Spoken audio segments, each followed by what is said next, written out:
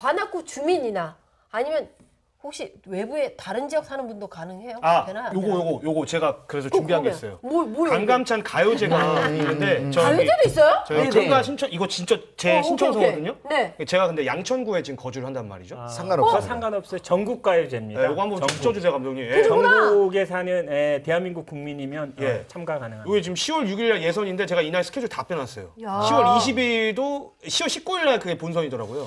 이제 상금이 좀 세요. 그 네. 기대하시고 오시는 거죠? 아니, 그 김현 씨가 네. 하루 수입이 한 천 되거든요. 천 원, 천 원, 그걸 천 원. 버리고 지금 참가를 하는 겁니다. 네, 천 원. 네. 잠깐만. 아니 그러면 네. 이 강감찬 가요제도 그 별별 콘테스트 중에 하나인 건가요? 이게 이제 19일 날 펼쳐지는데요. 네네. 19일 날 마지막 하이라이트. 아 그럼 또 다른 거 뭐가 있어요? 뭐 그 외에도 네. 하루 종일 무대가 쉬지 않고 돌아가는 거죠. 그래서 특히나 이제 그 어느 때보다도 내가 네. 풍성하다고 말씀을 네네. 드렸잖아요. 네네. 이제 조그만 하나만 팁을 더 드린다 네네. 그러면 이번에는 이제 천주년을 맞이해서 이제 빨리빨리 해야죠. 예. 팔관회도 진행이 되고 팔관회. 팔관회 네, 그다음에 규지대첩 천주년을 맞이해서 마당극도 또 진행이 되고. 마당극까지. 근데 이 마당극. 마당극은 네. 청소년들이 참여할 수 있는 마당극이에요. 아. 현장에서 즉석으로도 참여할 수 있고. 네네. 그다음에 외국인들 버스킹 공연. 그다음에 병난도 거리.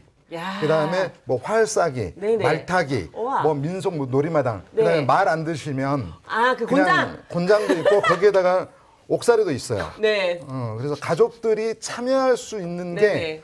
정말 어마어마하게 하니까 그냥 오시면 돼요. 가족들이 참여해서 남편을 그 옥에 넣으면 되겠구나. 그렇지, 그렇지, 어떻게. 분장 분장 분장 한번 때리고 아싸. 그래서 네. 제가 또 하나를 말씀드린다면 위원장님께서는 절대 거기를 안 지나가신대요. 아, 그래요? 예. 뭔가 갈등이 있군요.